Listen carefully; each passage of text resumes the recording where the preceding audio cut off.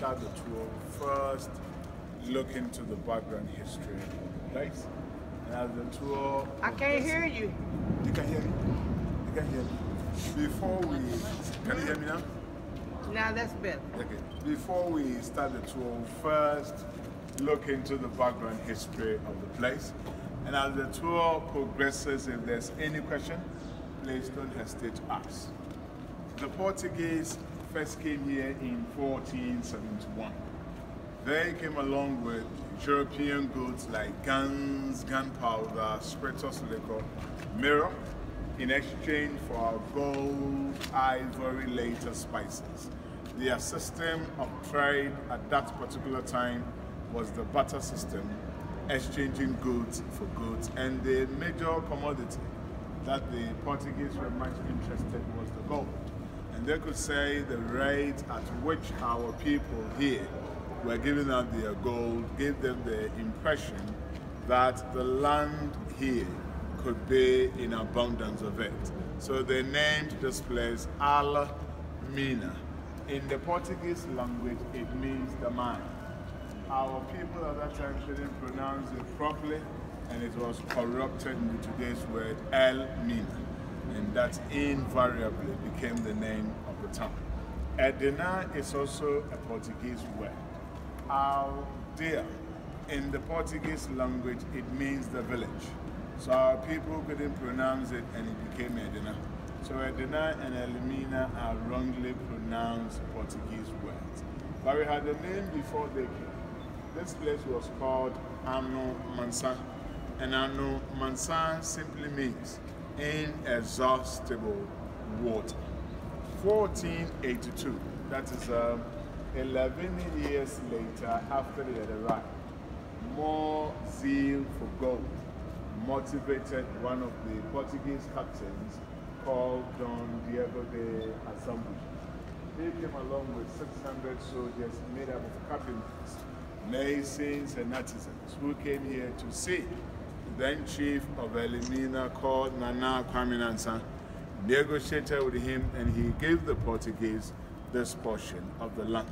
And it is important to note that that was the first time a title to a land was transferred from an African chief to an European. And before, this place was full of rocks.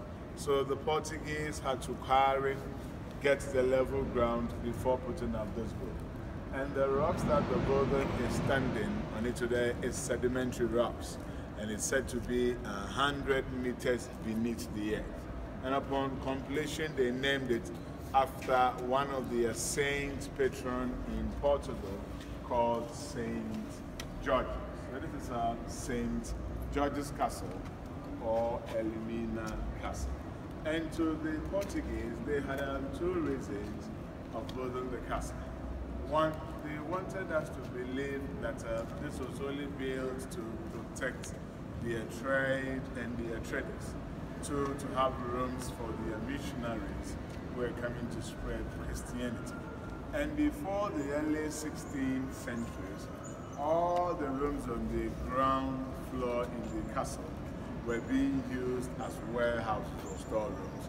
However, when the slave trade started, these same warehouses were converted into dungeons where the Africans were kept. And in total, the castle is talking of a minimum of 1,000 Africans at the time. 400 women, 600 men. And I believe we should also understand the fact that the Portuguese here in Elimina did not get up one day said to themselves that they want to go into slavery. At least something brought about it, or something might have happened somewhere. 1441 was the first time ever the Portuguese started taking Africans to Portugal. And the one who did the capturing was called Ante Goncalves, but in some books it's called Antonio Gonzalez. And he was one of the explorers of Prince Henry of Portugal. And he came to a place in Senegambia called Rio de Oro, which means River of Gold. When he was going back to Portugal, he captured 10 Africans others saying too. When they got to Portugal, the prince saw them and he was very, very happy for two reasons. One, he wanted the most intelligent ones among them to train to become missionaries to hasten the spread of Christianity. So some to serve as interpreters when they come back to Africa. But however sad, when these people got settled over there, they never came back as intended or planned. They ended up in the palaces and plantations as slaves. And since then, no European explorer came to Africa when he was going back with an African captive. That is why others are of the view that uh, possibly the Portuguese had that in mind before building this castle. Simply because they started taking Africans in 1441. 30 years later, they got to Elmina in 1471. 41 years later, that is in 1482, this was built. Situation changed when the Spaniards got to America and the West Indies. They used the Native Americans called the Amerindians or Red Indians to work on sugar, tobacco, cotton plantations.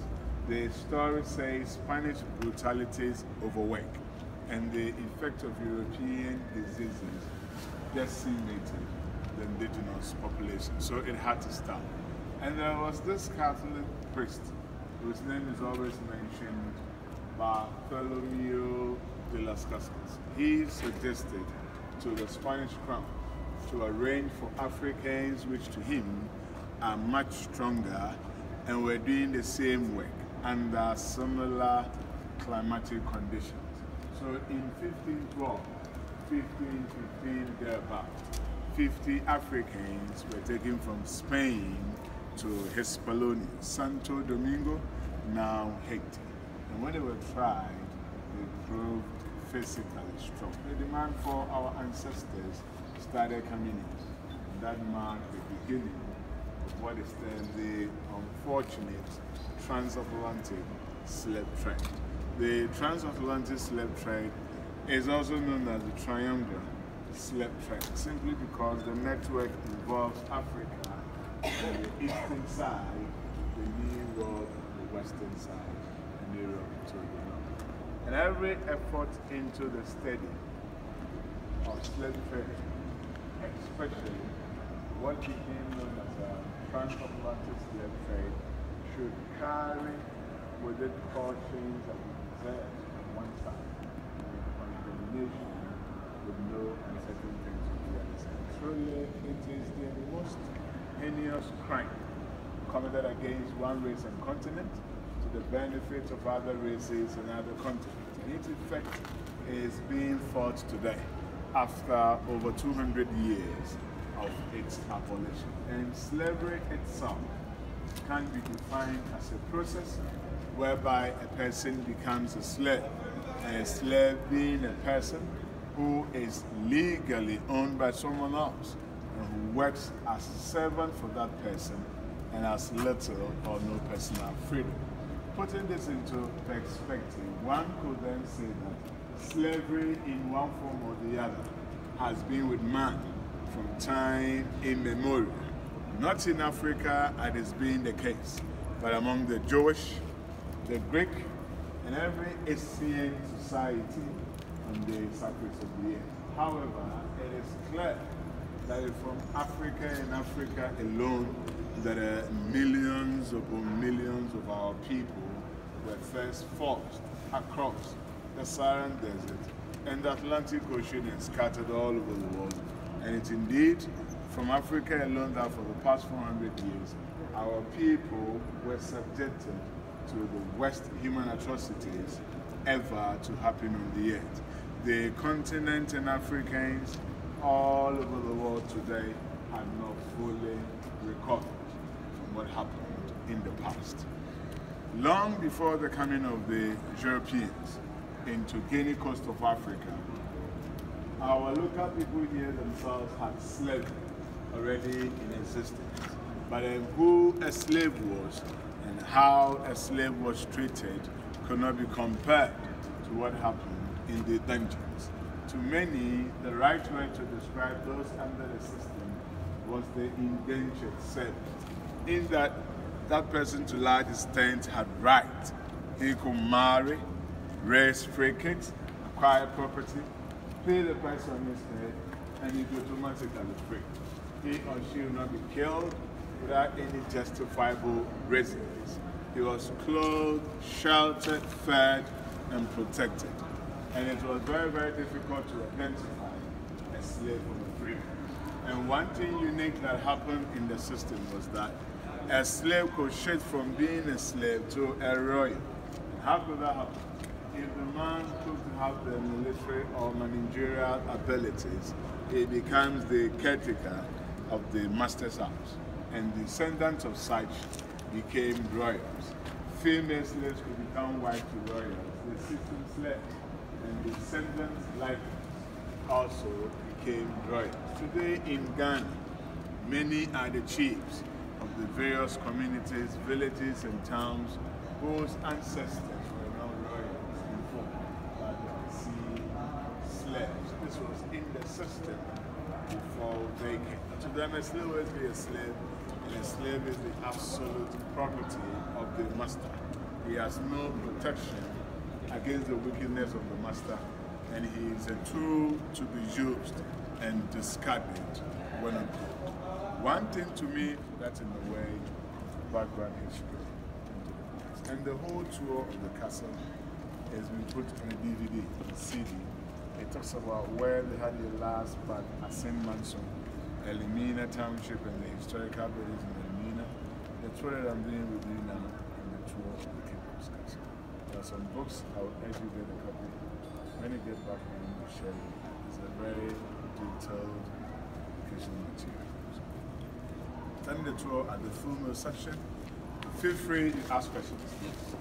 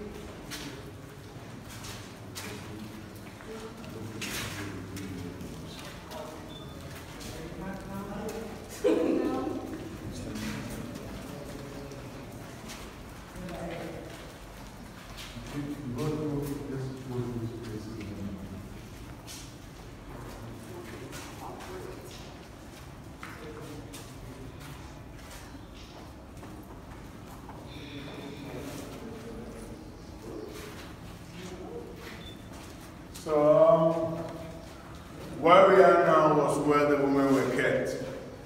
All over here, 400 women. 150 of the women were sleeping on the floor as hard as it is. And also, there were no means of uh, convenience in here. So, empty containers were being placed at the various corners for them to ease themselves. But they were not coming from Ghana alone. So they said Burkina Faso, Togo, Benin, Cote d'Ivoire, Mali, Niger, Nigeria, Cameroon, and the rest. They were all brought in here. And it took them one to two months before they arrived. Because in the olden days, there were no cars, so they had to walk barefooted from their various countries to this place. Some were even left at the expense of wild animals in the forest. When they got here, they were very, very weak. And as women do have their menstruation, practically they did everything on the floor. That is why you cannot underestimate the stench and the heat over here. And as a result, most of them died. When they died, they were not buried. They were removed and thrown into the ocean for the fish to feed. They were being given something small to eat just to keep them alive. Some ate, some refused to eat, they preferred to die. And they never had a chance of cleaning their teeth nor bathroom. And all these openings you see today before had doors on them. So the only source of uh, ventilation came from that hole. And this same hole is connected to another room called the magazine, where they kept their ammunition. So when there's a leakage, the chemicals came straight to this room and worsened a very bad situation. If they were actually in for profit, why did they to me doesn't make sense. And they will give you two answers. They said, one, Africans were very strong people, giving them the normal conditions here, who made them fight. And those who could survive through these uh, brutalities were the strong Africans who worked when they get to the new. So in a way, they were trying to eliminate the weaker ones from the stronger ones. But if we all could be sincere for an answer, in the olden days, it was very cheap to come by them. It was very, very expensive to get one person into the dungeon. Then they will make sure that the fellow lives under the normal condition. Okay, the profit, the actual investment, but they never cared. That is why, to me, the intention of the economy wasn't to trade, but to loot or steal, not peace, but war, not partnership, but enslavement. I will give you one, two minutes to take pictures of this very section.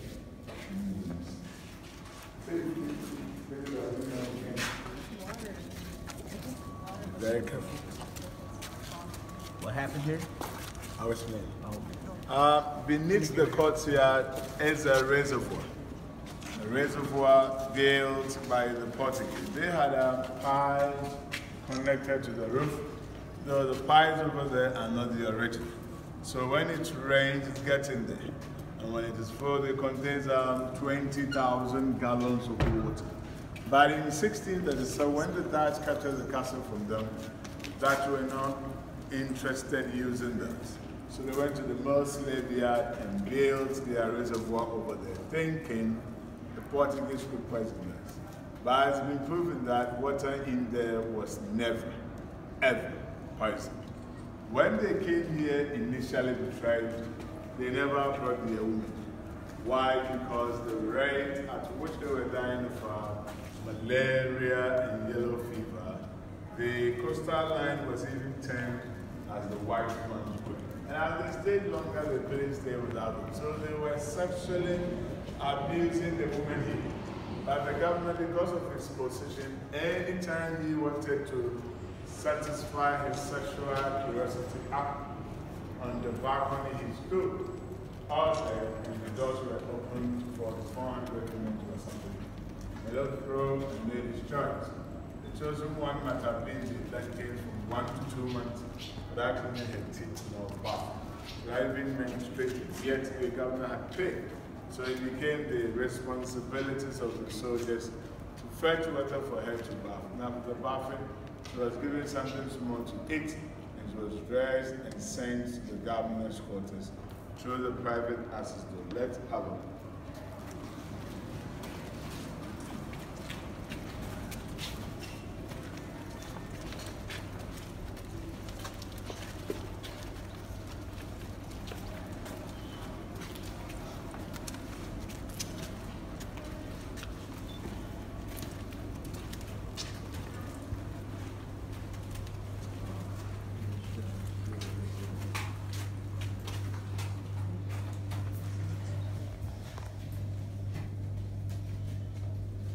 happens to be the private access door to the governor's quarters. And which are the governor's quarters when we get to the. After the humiliation, the woman was not made to stay there. Sorry, because that wasn't a permanent place. She was then sent back to the dungeons in instances. Some became mistresses and stayed longer there. When the ships came, those found pregnant were subsequently freed or liberated. But due to the long from the hinterland, some couldn't trace their way back. And this partly explains why along the coast we have uh, mulattoes, the light color skin. And also the Europeans did not want their children to go wayward or astray. So they built houses in town, kept those pregnant women over there. Four or five years later, they went for their children, brought them back here, and gave them formal education. So formal education started from this very castle, and those children of the Europeans became the first elect in the society, and they felt superior over the indigenous people. When they were being given before this club, that was when the divide, conquer, and rule started coming in. Some went to the village, got married to the local women over there, built individual houses known as stone houses, stayed with them, have children, and gave their names to their children. And before and today in Ghana, we have people bearing European names. De Geer, De Souza, Viala, Vroom, Van Dyke, Van der Poel, Smith, Ferguson, Jackson, Jansen, Langston, and all the sins,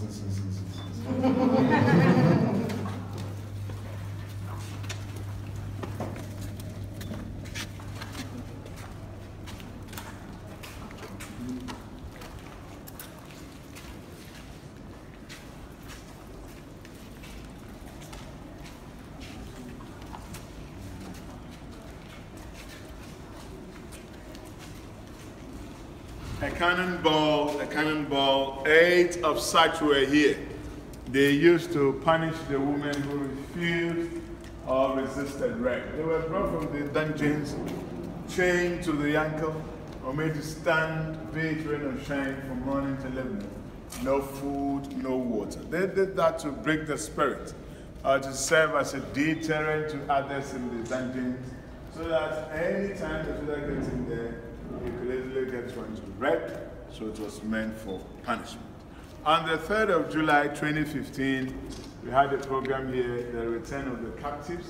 So people from different countries came and voluntarily slept in the dungeons from 6 p.m. to 9 a.m. the following day. So these were the materials that they used during the event. I'll give you a few minutes for you to have a look at them.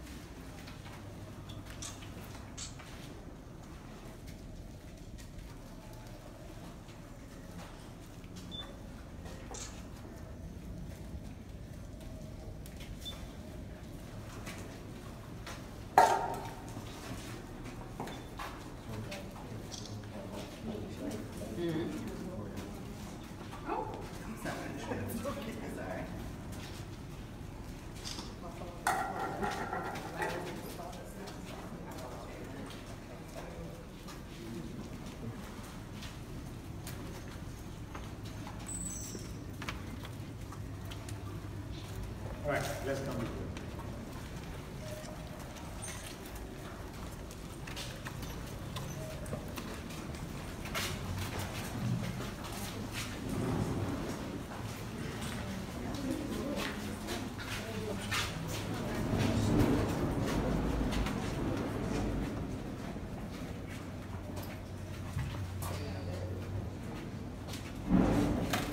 when the ships came, the women who had survived through these um, conditions were then put back in chains. They were brought from the dungeons to this very point to the door of no return. Before they had stairs that they descended. I said the stairs are no more because we stopped using the reservoir and also constructed a drainage system here so that when it rains, water could easily get out of the castle. These were put there just to prevent accidents. Today I am here, you are assured of returning. So please don't be afraid.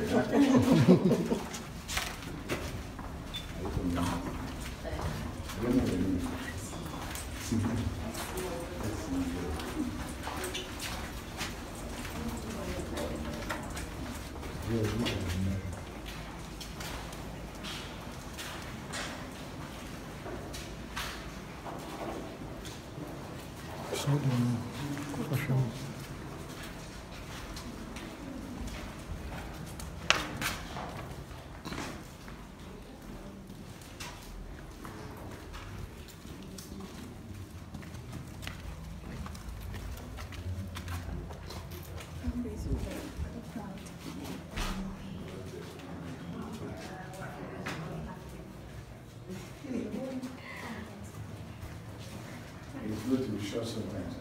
Huh?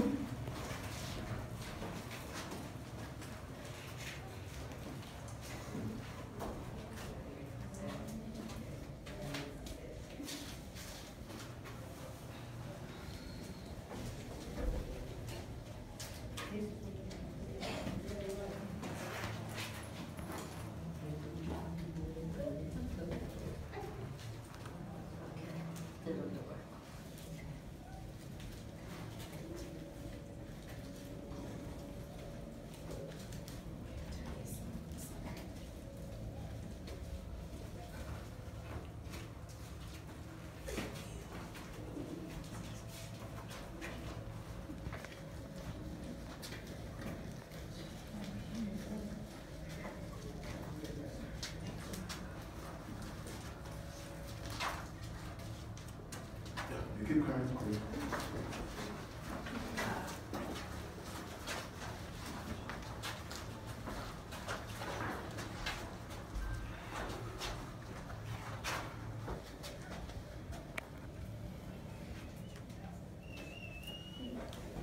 You cannot walk faster, faster, and the chain will let you go. When were training gold, the door from this very point to the yard. But when they started the slave trade, they narrowed it so that it contained one person at a time. In the olden days, the sea was touching the castle, but it has receded.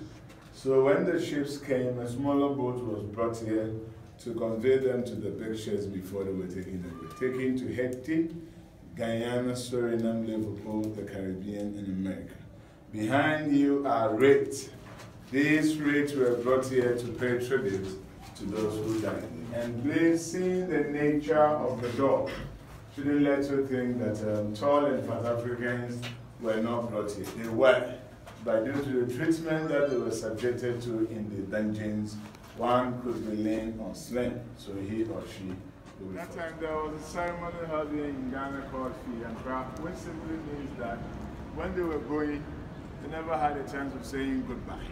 After that ceremony, led by the president of the National House of Chiefs, the late Nana Udro Enima Paulo II, went to some chiefs of Africa, to the United States of America, precisely New York, had discussions with Africans over there, and when they came back, this flag here came up. And it's also serving as a mission statement of the tour of the castle. And as we walk through the dungeons today as an Africans, it ought to be in the everlasting memory of the suffering of our ancestors. And this should compel all of us to pray for all those who died to rest in perfect peace. May those who love to return find their root. May man never be given the chance to commit such crime against man. Every one of us needs to uphold that. So as we go out of the castle, we carry the responsibilities that wherever we find ourselves, we try to fight against injustice so that evils of such nature never again be repeated. Each and every one of us has a role to play. So please play your role very, very well And I believe when we do that, we give a meaning to the truth. Dr. Martin Luther King once said that um, injustice anywhere is equal to justice everywhere. From here, you walk straight to this very first, uh, but don't forget, I will lock you up.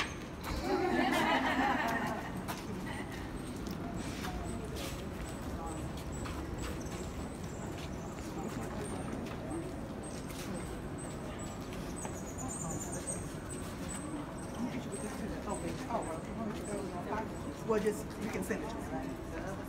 I'm gonna take it with your camera too, because I'm having, I won't be able to do this without. Okay. That thing came up at the bottom.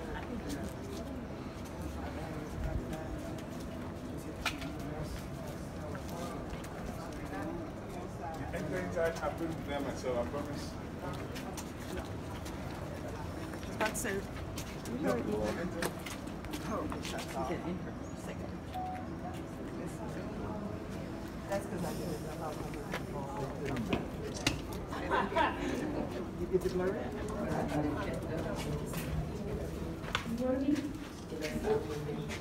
You want all of the fingers? Yeah. Oh, okay. To feel the closeness and stuff that they had to express, okay? As if they got, I'm gonna do it. This is one of the, uh, that is the whole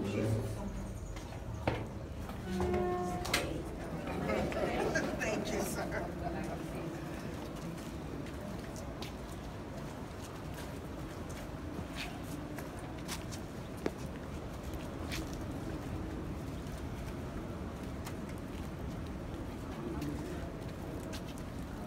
Yeah.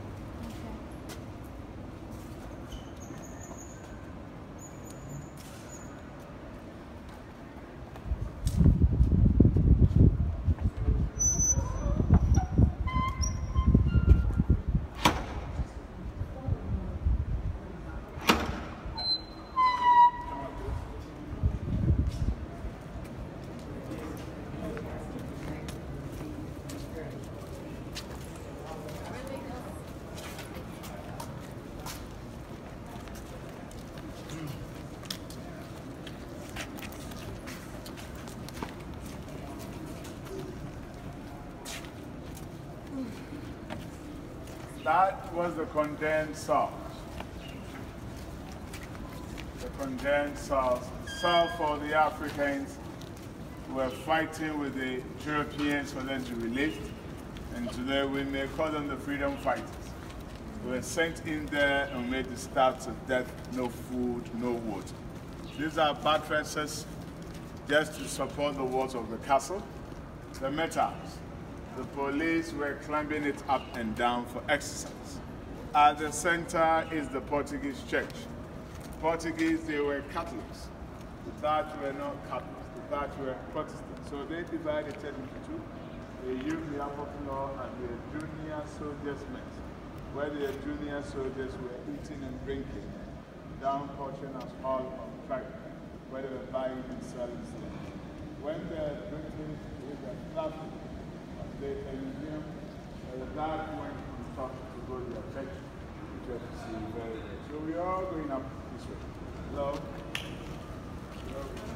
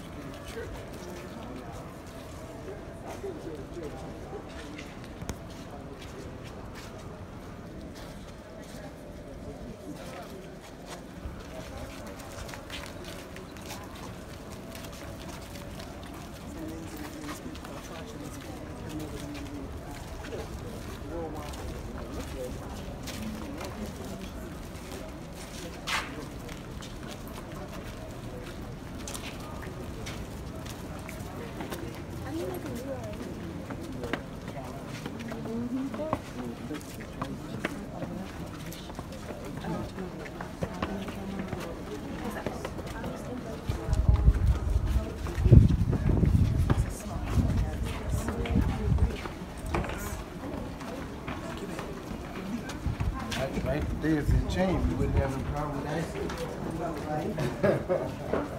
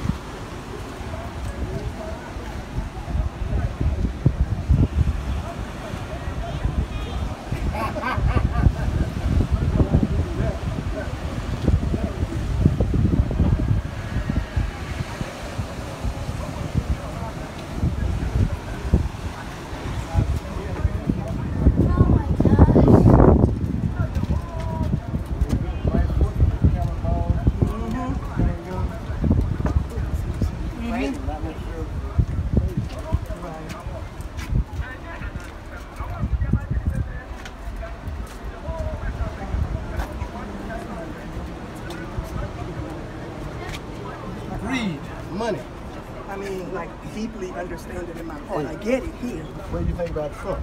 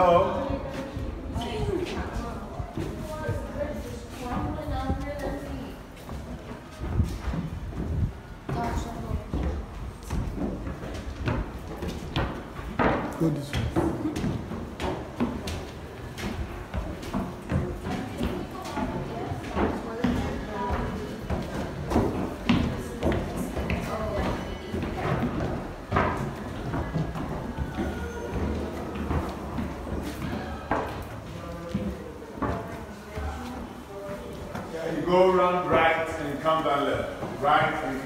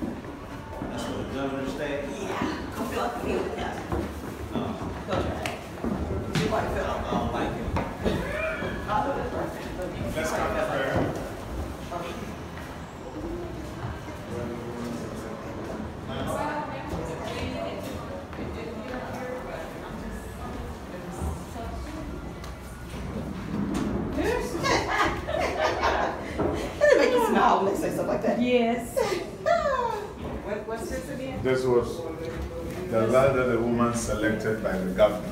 Oh, it's meant to climb to the governor's school. Oh, so let's, let's keep going. You follow the colleagues. Don't lean on, don't lean on the wall. Don't. Okay. Yes. Don't lean on the wall. That's what, that's what the sign says. May not be as sturdy as it once was. Oh, don't lean on it. Yeah, Yeah. don't lean on the wall. That's what the sign says. I know, I'm not saying your arm, I'm just saying. They're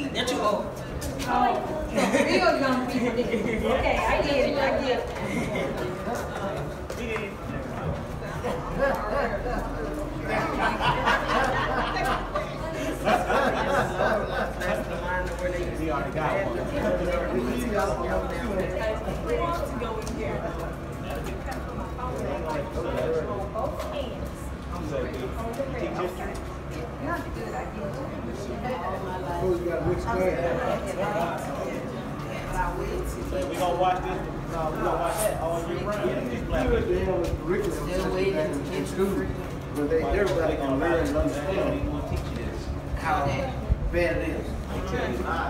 Right, right. Nobody can say that it's just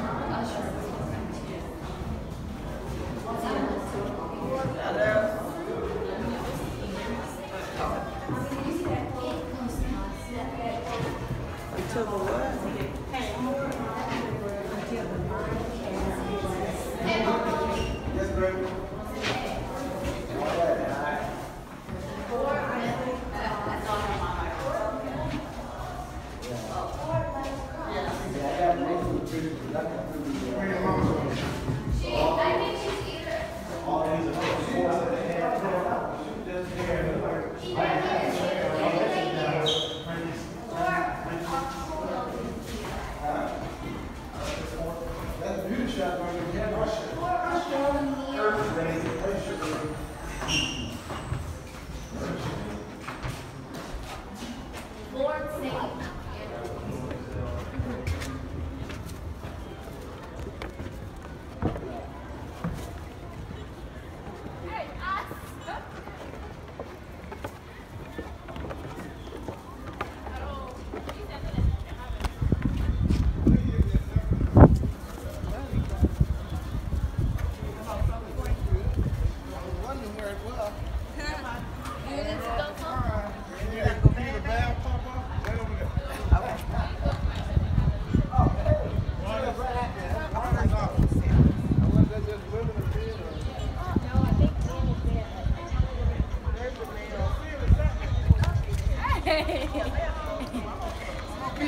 Gracias.